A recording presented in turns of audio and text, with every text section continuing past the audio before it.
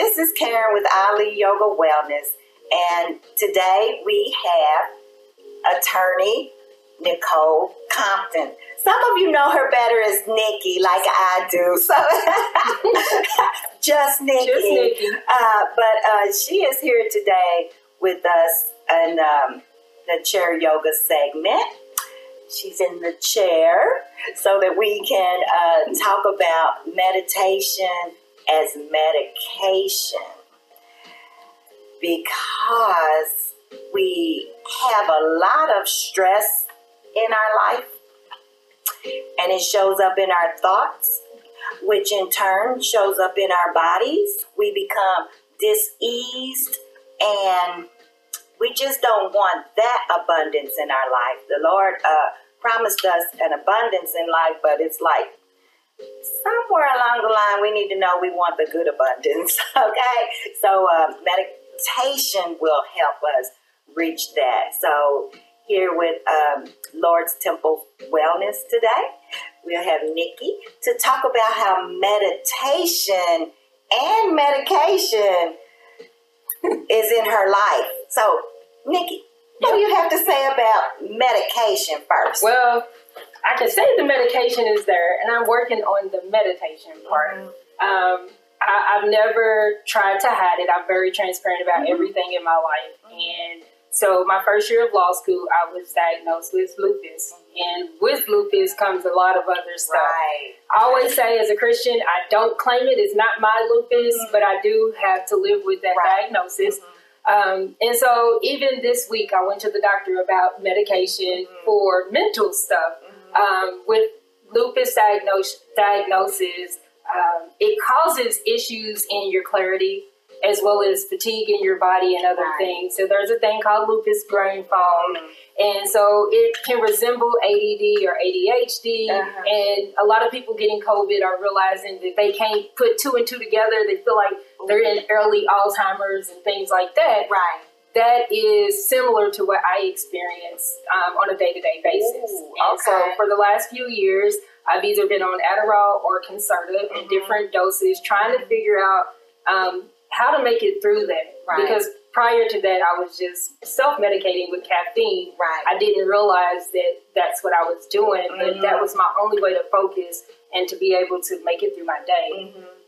The meditation part, my, my the love of my life, he keeps telling me, you know, you should really consider alternatives. And I, anybody who knows me knows I don't like taking medication. Mm-hmm. I try to find supplements or change my diet or change what I do with my body to cope. And, right. and, and, it's been a blessing to me because um, I don't have to take as much medication as other people do, but I'm looking for something that can finally supplement and or replace the medication I take on a daily basis right. to deal with this. Okay.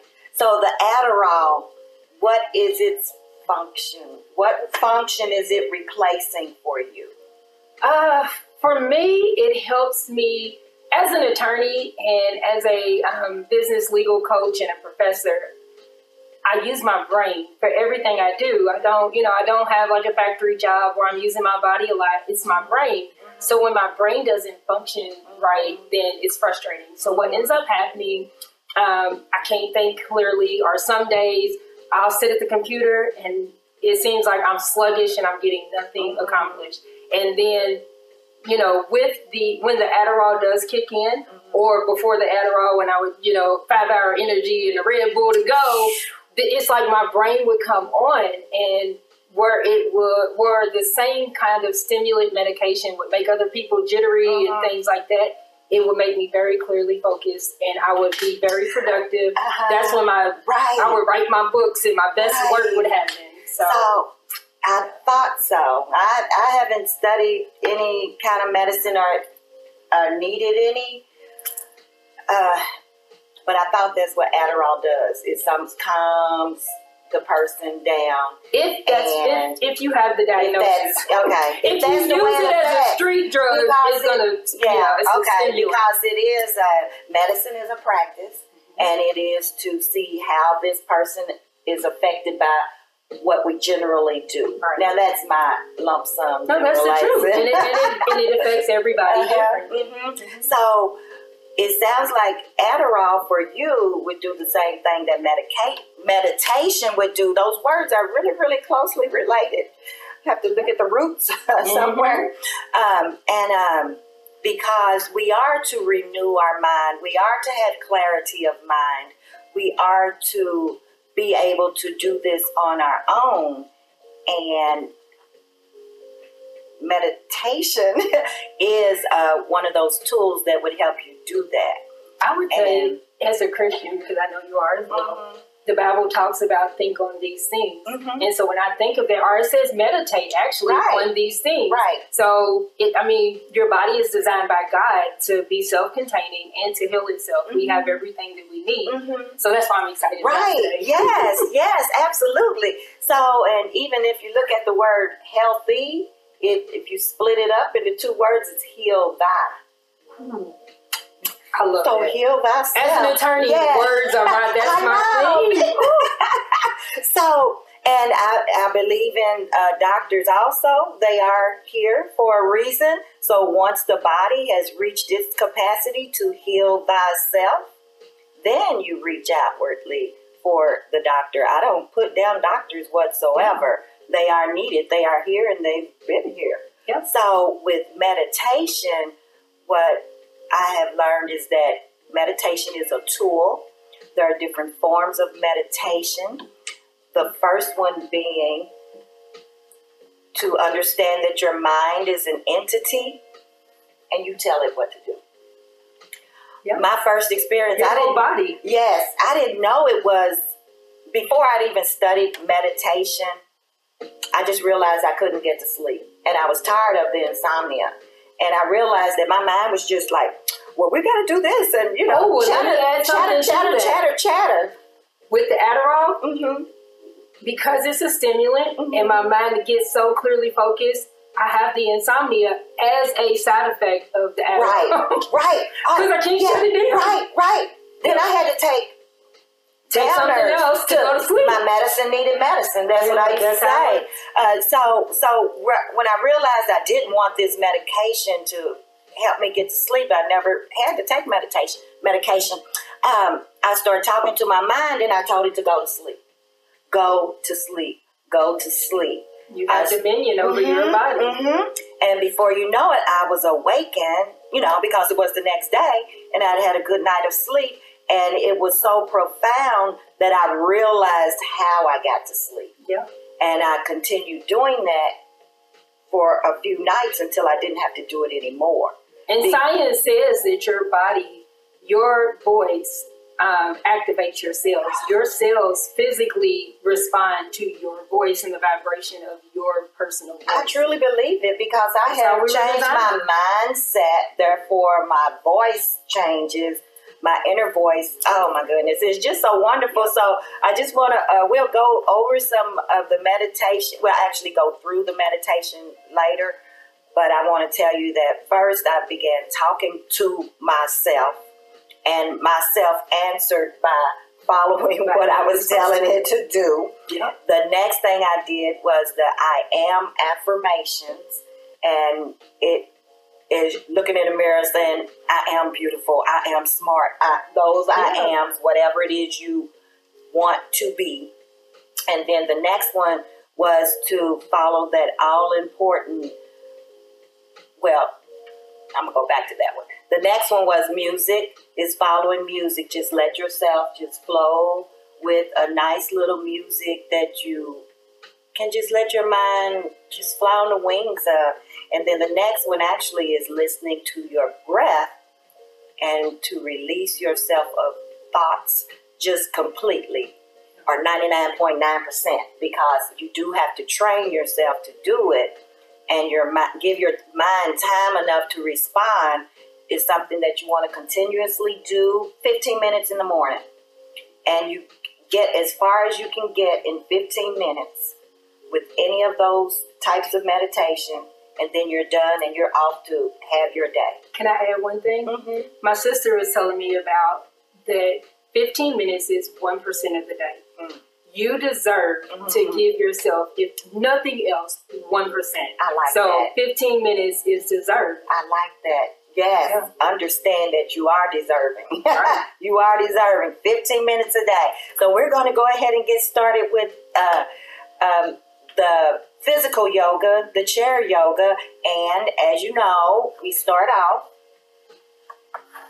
with our tissue paper cleaning our nostrils. Okay, so we'll spare you us blowing our honkers for you, but go ahead and get yours and just clean your nostrils and make sure you dispose of it uh, nice and as you should. And um, we'll meet you back in the chairs. Okay?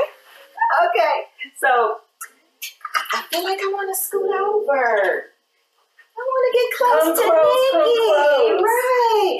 Okay, so we're going to do about 15 minutes worth of chair yoga to um, and we're going to start with our hands, okay? Because um, Nikki is at a desk. She's on the phone. She's working with her mind and some people crack their knuckles. Do you, Nikki? Sometimes. Ugh, yeah. And uh, it's a relief. So right now, because we know there's prayer, change, prayer changes things, let's start with the prayer position. Pushing your hands together. You're sitting near the edge of your chair, and you're lifting up through your spine. Pull your shoulder blades closer together, and your chest should move out a little closer to your thumbs. The heels of your hands, if you can move them down to be more even with your elbows, you'll feel how your shoulders have really kicked in. Those muscles have kicked in, right? Okay, and we want our ankles right below our knees. So bring your knees a little closer. Good, good, good, good. And push strongly into your hands and feel how the prayer hands are changing your shoulders. Okay? Good deal. Now, from there, we're going to place one hand on our heart and one hand on our belly, our heart of emotions, and our belly of courage. And together, we will do our three breath practice. Breathe in. You're welcome to close your eyes and imagine your lungs just filling with great air. And then exhale, and you're pulling your navel in as your lungs collapse, right? In and then breathe in, big belly, big lungs, and then exhale. Feel the relaxation moving around your shoulders. Elbows are coming closer to your body, pulling your navel in. Let's do one more for good measure. Breathe in and out. Does it matter if you do it from your nostrils or your mouth? nostrils are great from your mouth. You you're cooling yourself down, and we're we're about to heat it up. So I heard it. I heard it. but good question. So uh, with Ali Yoga, it's an acronym for as love inspires. However, we also pay honor to Muhammad Ali, the Louisville hometown hero, and we named some of the poses after him. Right now, we'll go into our butterfly wings. Just our arms are beside us, and we inhale and take our arms up.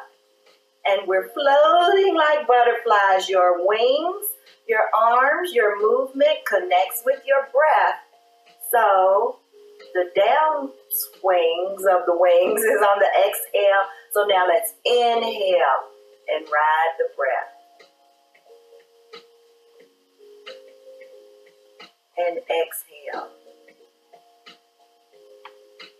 And you can tell how the connection between your body and your move your movements and your breath have been made because your soul feels more relaxed. Okay? Good. Good. Now just keep your hands down and even hold on to the chair and move so that forward on your chair so that you feel your sits bones. The bottom of your skeleton are on the chair. Most of your thighs off the chair. And another motion that we named for Muhammad Ali is the um, I couldn't remember the name of it, but the name of it is the Ali Shuffle. Okay, so we're going all the way down to the feet now. So pat your feet, pat, pat, pat, pat, pat.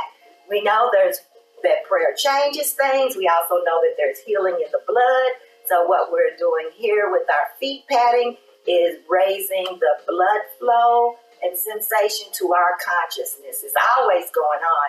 You can move one foot forward. Just make it as fun as you want to, okay? You can cha cha cha. You can do whatever you want to. I just want you to get that blood flowing so that and I hear it float like a butterfly, sting like a I know, right? I try. I take out the sting. so go ahead and as you stop right there, you feel the sensation of what's going on all along. Is that blood flow? You feel it in your toes, Nikki? And usually you can feel it from this point up to your knees because then your knees uh, kind of tingle. Uh huh. They tingle, and because the anatomy bends, the sensation lessens but we'll feel it later further up our legs. So we uh, now we have our fun socks on. we can keep them on, uh, but we're lifting our toes now, not our foot, just our toes, giving them a nice reach up toward our knees, and then exhale and bring them down. But pick up your heels and walk. Just slide your foot back for toward you and really press through those heels. I got it. I think you wear heels, don't you, Nikki?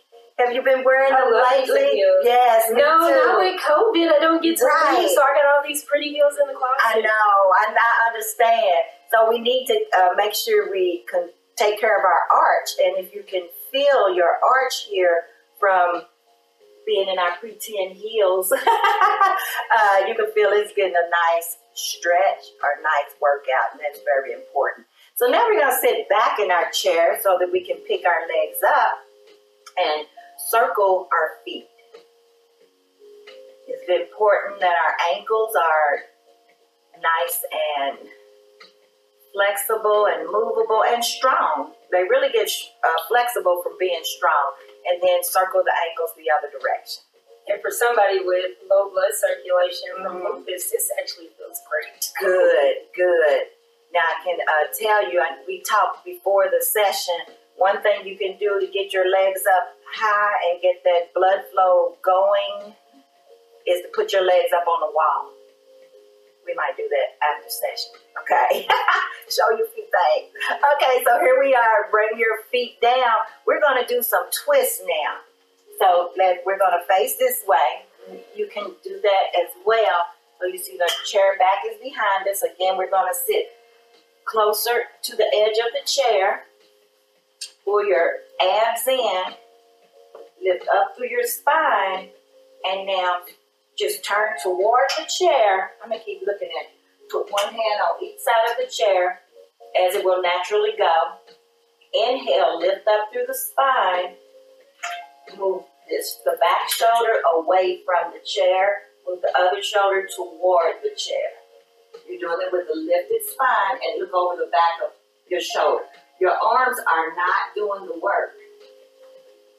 They're holding you in place, but you're not wrenching yourself around, okay?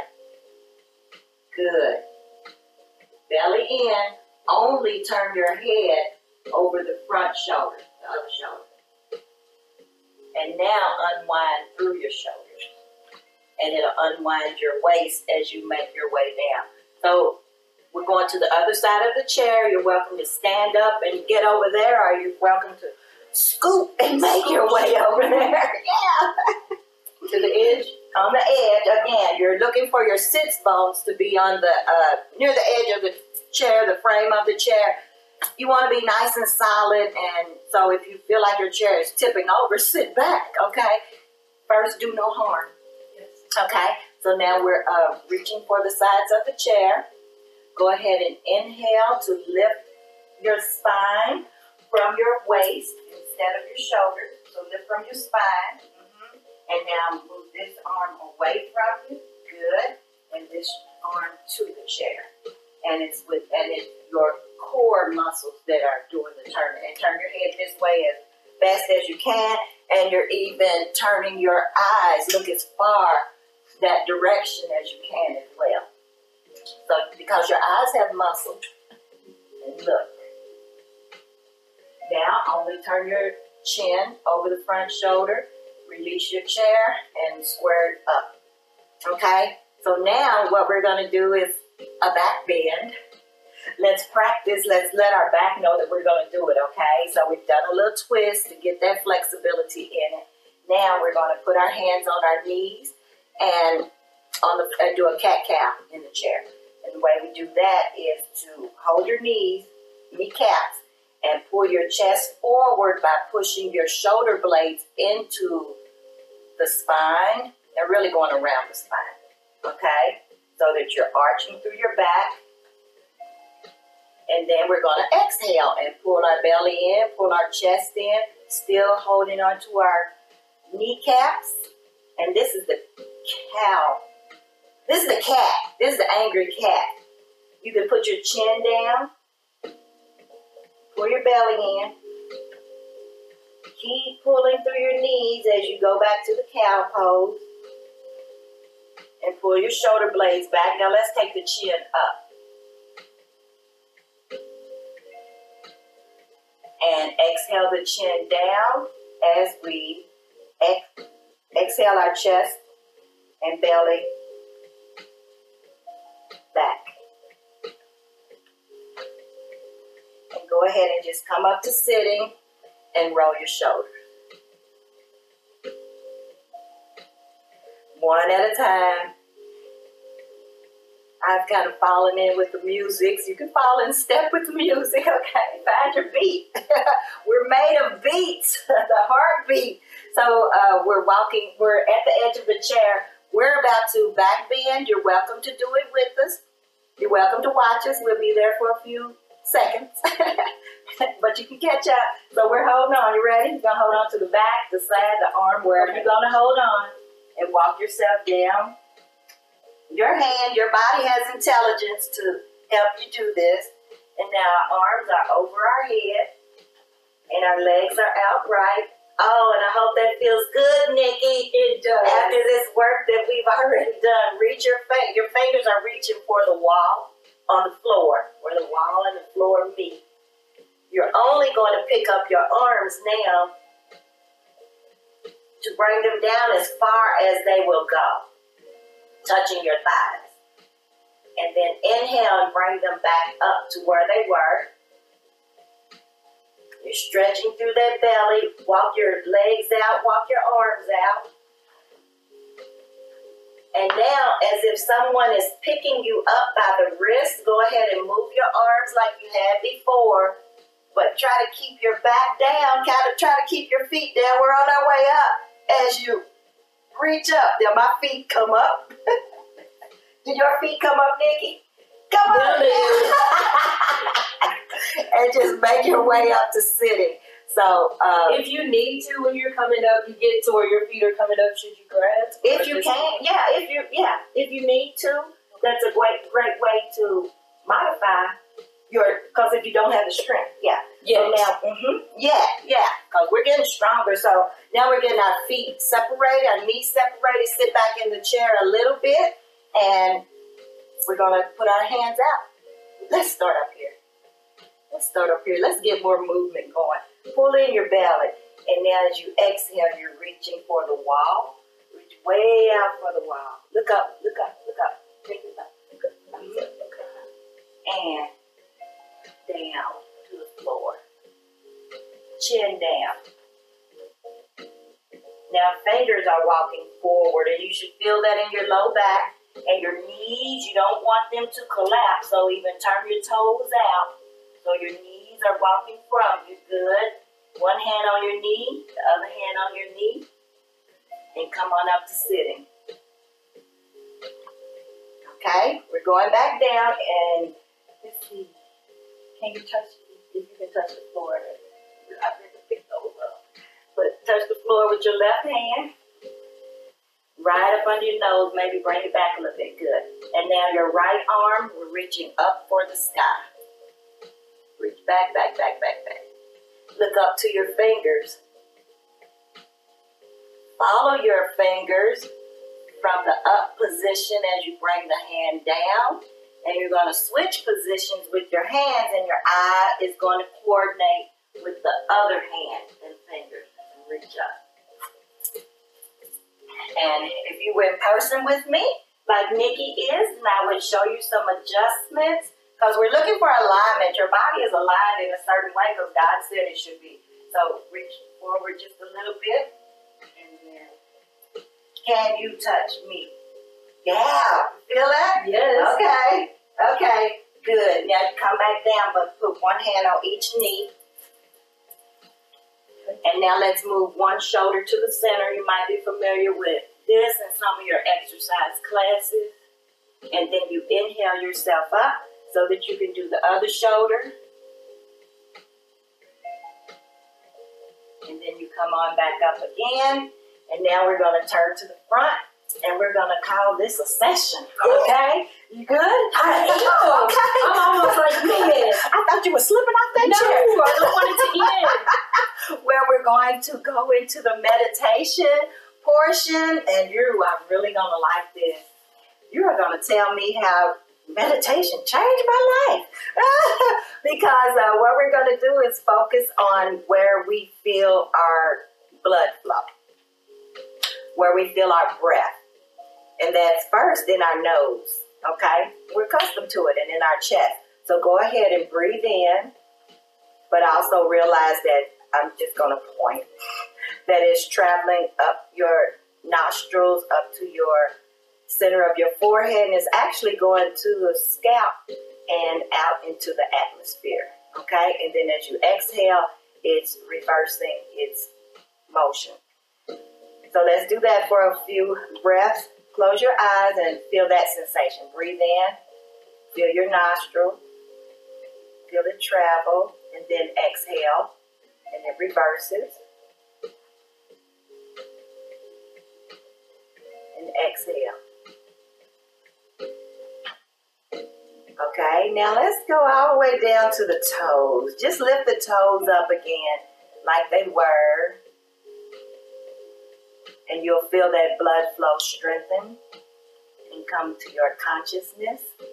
So now we're going to understand that our body is a whole breathing apparatus, not just our lungs and diaphragm and that respiratory system.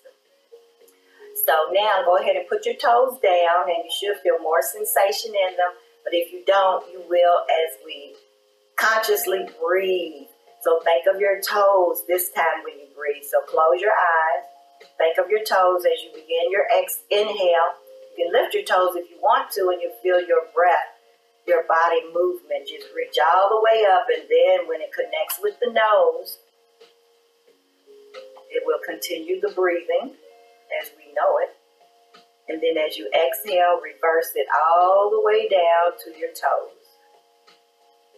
Again, from the toes, as you breathe in, lift your toes this time. And just turn your whole body on with your breathing. The whole physical armor of God. And then exhale. So you know you can feel your breath all over your body. It travels through your body, not just your lungs and that respiratory system. Now we're going to breathe again and understand that it's our prayer that is moving throughout our body and then the prayer is answered. So if you think of it like that, as you're breathing in, you're reaching and asking God for relief of some kind. So let's just make it happiness. You're reaching up.